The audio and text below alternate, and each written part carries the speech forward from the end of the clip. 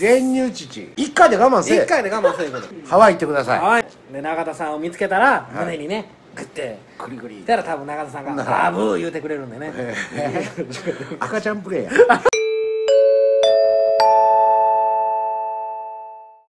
はい皆様。こんばんは。こんばんは。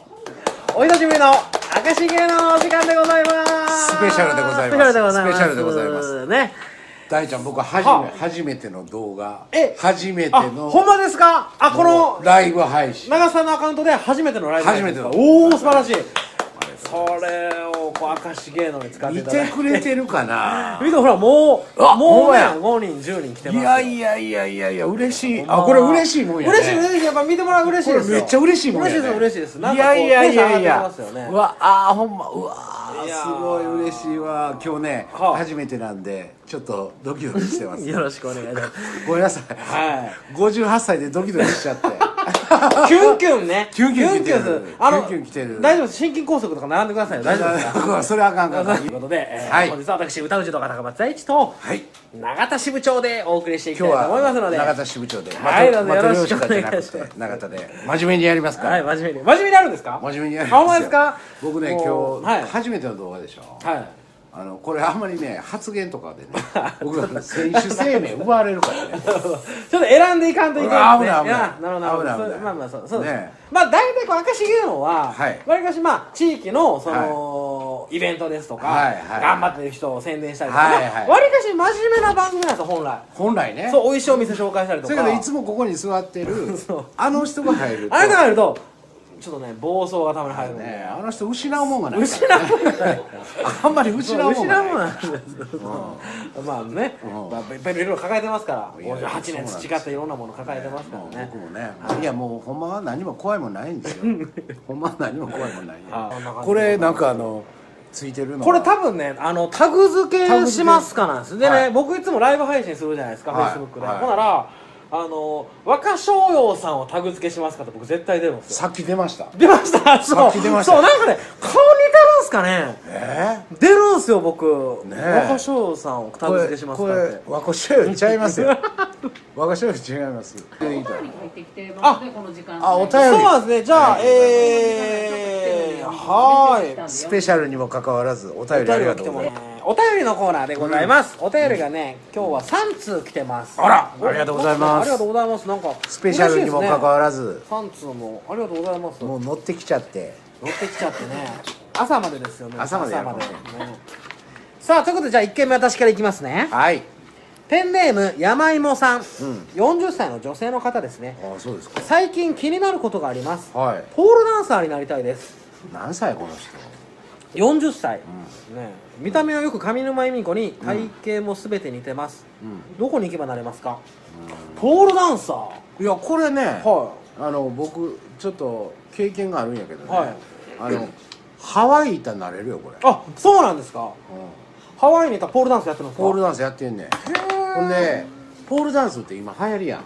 あそうなんですか？ほんであの以前それ会社でね、は招待があって僕あの親子で招待されとって、うち娘夫婦も一緒にハワイ行ってたんですよ、ほんだらあのうちのまあ神戸のね、はい。支社長が、はあのお食事行って、はい。それともハワイで暇やから、ポールダンス見に行きませんか？ほんでみんなで行きましょうはい。ほんでポールダンス連れて行かれて。ほんだらポールダンス見て。ほんなら、、はいやでも僕なんかちょっとあれやったからもうお前ら夫婦はわかね、はい。娘夫婦は帰るか言うたら、いや私もポールダンス今流行るみたい言うて、はい。娘ついてきてポールダンス行ったんや、ほんなら、は全部裸でやってんいのよ。へえ。ストリップ的な。ストリップ的な。へえ。娘連れて行ったのに。もうほんであと何人かこう前座るんや、はだからもう前でこうやってポールダンスして、はいはほんでポールの近くにおる僕のとこ寄ってきて、はいはおっぱいで頭スリスリスリ。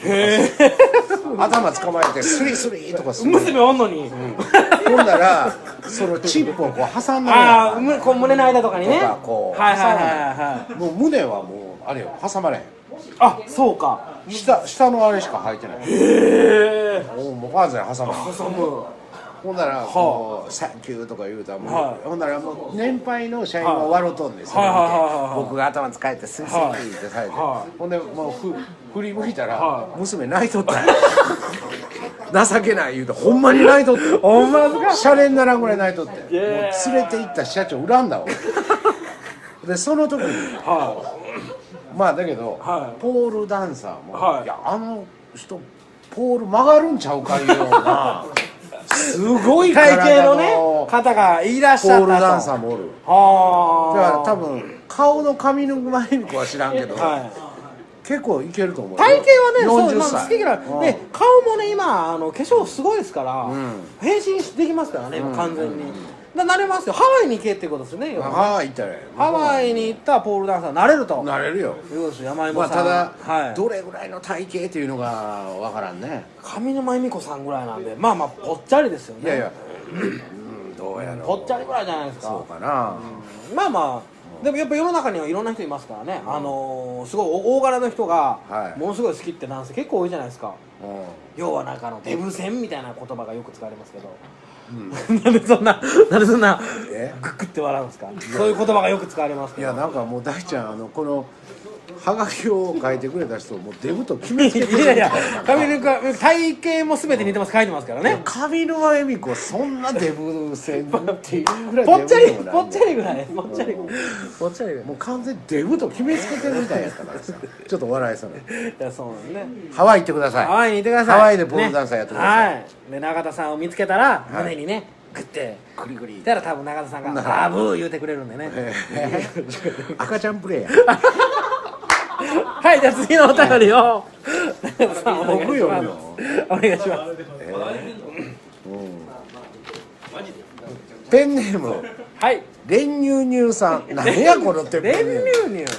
はい。こんばんは。こんばんは。お二人に相談です。よいしょ。僕は32歳です。ほう32歳。身長160センチ。ほ体重89キロ。ほダイエットしたくても何をしても続きませんと。うはい。食べることが生きがいです。どうしたらいいかえ泣いてます。泣いてます。悩んでますみたいな悩感じでんでますっていうねことですね。これなんかちょっと僕とプロフィール似てますよねなんかね。32歳似てるよね。160センチ。今も似たようえな感じだえ大ちゃんどれぐらいある僕30、まあ、身長163センチで体重がね今103キロぐらい。103キロ。103キロ。105ないんですよ今。ちょっと落ちたんですよ。えでも大ちゃんも昔ちょっと痩せとったよね。いや30キロぐらい超えましたからねそう、うん、そうなん。これね あの ちょっと 変なとこにね行きました、大ちゃんあれあれもうだいぶ痩せとったやろ？いやそうもうこう100今30キロぐらい軽かったんでうん。3年ぐらいで太りましたから僕は。あそう。はい。ということは前は89キロぐらいえっとね70キロ台でしたよ、えー？75とかでしたもん 75? でそれは105ぐらいまでいったんで。でも34年前ですあ入院してたでしょ？私、うん。入院する前は80キロ切ってました、切ってました切ってました。で入院して出たら100キロになってます。嘘。えどんな入院や？ほんまね、うん。ありえなかったです。ほんま。おそれから順調に太り続けた太り続けてもうね歯止め効かなくなったんですよね。する前にピースと知り合ったら間違いいやそう入院する直前半年ぐらい前にピースに僕入ったので、うん。差し入れがもうなんかどうなん？差し入れのせいか差し入れすごかったですよ、かだってほんまあの入院患者さんのお見舞いでね唐揚げ2キロとか来るんですよ。唐揚げ2キロですよ、200グラムで2キロきますからね。僕もコロッケ10コロ個ぐらいッケ10個コロッケ10個。そう。コロッケ10個。コロッケ10個とかね。いやだけどな。プロ山ほど。天ぷら山ほどだけどなんかあ天ぷら。の男性の見舞いにね、はい。あのなんや花とかないそうややね。まあまあそうですね。鼻とか。ないやはほなやっぱなんかな思ったら病院食かな、はい。ほんで特に怪我やったからな。いいやそうなんです。内臓じゃないですからね。そう。ほんなら考えたらコロッケコロッケ。あ美味しいコロッケ買うたろう思って。いやうまかったですあれ。買うたらな、はい。これ2個持っていったら俺のプライドが許さない なるほどね。なんかその440円とか持っていったってな。何もコロッケ高級なの持っていったって440円や、はい。あこれあかんわ思って、はやっぱり10個ぐらい買わなあかんってこうなるやん、はい。ちょっとこう生きろと思うやんか。でもきもう見事にそういう感じで食いやべてまうやん。そうですよ。でもあればあるだけ食べ食べるしかないですからね、うん。テレビ、まあ、見ないんで。でもね僕ちょっとダイエットしたからちょっとこの方に言いたいのはね、はい。あのちょっと食べることが生きがいでこうっていうのはあるでしょ、はい。はいだけどね食べることはねちょっとご飯を、うん。あのまあ、例えば3杯食べても美味しいかもしれんけど、は1杯でも美味しいんですよ、おなるほど、だからなるほどなるほど。あの要は は三三倍食べんでも一杯でいけるんですよ。はいはいはいはい、うん。一杯でだけど3杯分満足ってことそう。ですねだけど一杯食べたら二杯食べたいとか三杯食べたいってなるでしょ、はい。あれがねもう一杯で抑えるかどうかなんですよ、ああなるほど。そうですよね、うん。やっぱついついあの僕らもそうですけど、うん。ご飯食べに行くじゃないですか、うん。で例えば大盛り無料とか書いてるじゃないですか。ついつい大盛りにしちゃうんですよ。あかんあ。かんそれがあかんあれがあかんねん。それこほんでこ細かいあれですね。めメンチカツ定食あるじゃなはいいですか。メンチカツ定食あります、メンチカツ定食、はメンチカツ定食を3個になるとねいはい。メンチカツ定食3個食べたら美味しいですよ。はいだけど1個でもいけるんですよ。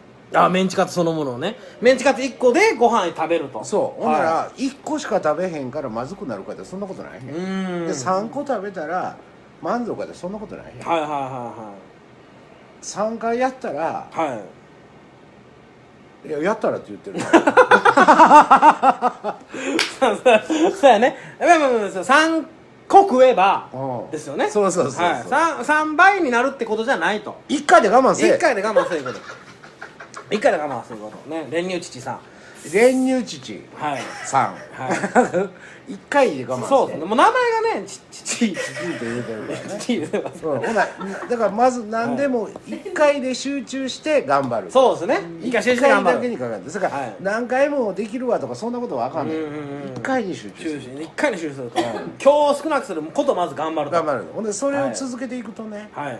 あの絶対痩せますから。なるほどなるほど、そうですね。今もうちょっと食べ過ぎてるでしょ大ちゃん。ちょっと最近まあそうですね。満腹中枢おかしくなってるおかしいです。完全におかしい。僕ねあのー実はね昔とある内科の先生に言われた一言がすごい頭に引っかかってるのがあってもうよくね食べるすごいグルメな内科の先生がいらっしゃるんですよ、はいはい。昔に、うん。でその方から言われた言葉がこれです。あのー大地君ええか？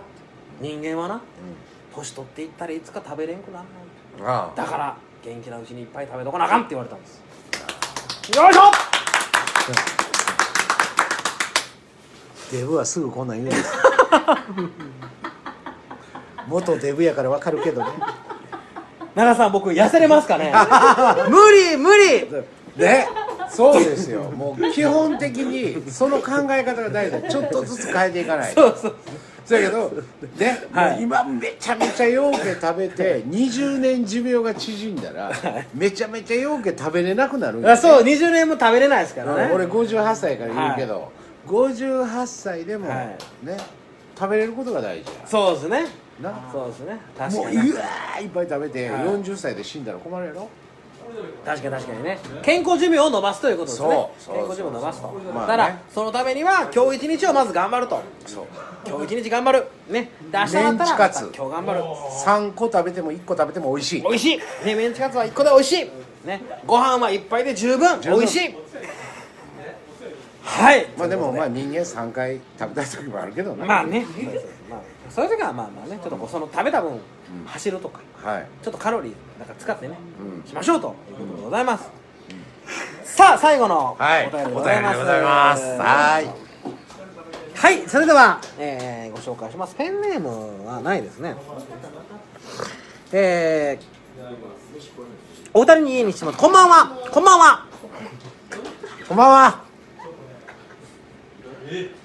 えー死ぬ間際にどうしても何が何でも携帯だけはへし折って死なんとあかんって某 G 生命保険会社のお偉いさんが力強く語っておられま何のす話や？一体何が見られてはいけないものが入っているのか気になって眠れません。お答えを明石芸能のお二人教えてください。ほうそんなことがあるんですねえちなみに馬形さんありますか？そのあのね携帯折らなあかんようなことって。あのね、はい。あの基本的にねいや、はい。僕もたまたまですよ、はい。たまたま僕はあの生命保険会社というはいはいはいはい。金融機関というところで勤めてるんでね、はい。あたあそうですよね、うん。はいはいわかるんだけどね、はあの携帯電話とか、はい。そういうものっていうのは、はものすごいあの個人情報が入ってるんあですよ。そうですよね。会社で使う個人情報、はい。プライバシーですよね。だからあのお客様の,、はい。あのそういういろんなね、はい。お電話番号であるとか、うん。ご住所であるとか、そういったものがあると。なるほど。金融マンの、はい。まあ、心得としてですよ、心得として自分がまあ仮に心筋梗塞でキュッてなった時でも、はいお客様の情報だけは守らなあかんということでパキッ！ほどなるほどね。パキッと折ると。なるほどね。うん、いやもし仮にね僕はそこでなくなってもいいですよ、はい。なくなってもいいけどその携帯電話がね個人情報がね。残っとってほんではい。まあその助けに来た人をしっかりしろって言うたらもう個人情報の間携帯電話なんてそうですよね。これはもうあのお金盗まれるんと一緒ですから。うんそうですよね。だからそのお客様の情報を盗まれんがために、はい。もう命尽きるまでお客様のためはいにパキッパキッと折るわけですね。なるほどなるほど。ということではあの多分何が入ってるとかっていう問題ではないと思うんですよいなんかちょっとテンションが下がって大丈夫ですか？なんかこう声が過細くなっていってる気がする気のせいですかね？僕気のせいなのか今ビュー下がってますよ ちょっとあのなんか僕がなんか見にくく映ってるとかいやいやもう全然大丈夫です。大丈夫です。ね長さんは大あの父に挟まってバブル言ってるイメージが多分ね赤ちゃんプレイそうか。やっぱ個人大事ですよね。お客様の個人情報を守ると。僕明日から出社できるよ 例えば個人情報だけ別のなんかね管理できたらいいんですよね。別に見られてもね。いやいいですよ。全然全然ねやましいことなんかないですよ、はい。全くないですよね。いやだから携帯電話の、はい。あのなんか手触れてます 大丈夫ですか？大丈夫ですか？手触れても大丈夫ですか？寿司屋みたいになってる。あ寿司屋みたいな。携帯電話の名前を全部不正字にしたらああ別に僕はもうこの話死んでも大丈夫です全部不正字にするんですか？全部もうお客さんの名前ももう電話ら番号とかも住所とかねデイ T さんとか、はいはいはいはい。OT は TO さんとかあにしてるんやったら OK ですああよなるほど。えそれはじゃあなんか LINE のやり取りとか、はい。メールのやり取りを見られても全然問題ないってこ全然問題ない。あーもう仕事のやり取り鼻水出る。えだ手触れてます？大丈夫ですか？大丈夫です。まあね寿司屋みたいな まあということでねあのーはいこの答えはですねお客様の個人情報を守るというやつよね。見上げた金融マンだよ。ね某 G 生命保険会社のお偉いさん。ということで見上げ素晴らしい素晴らしいねお金融会社の方でございます。素晴らしい。ね。ということで今日は、い。えー明石芸能ということで永田支部長をお迎えしての、えースペシャル配信でございましスペシャルでござたいました。しますそれでは本日お送りしました。私歌う柔道家高松大地と。マトリョーシカ1号のこと永田でございました。よろしくお願いします。バイバイ。バイバイバイバイバイバイ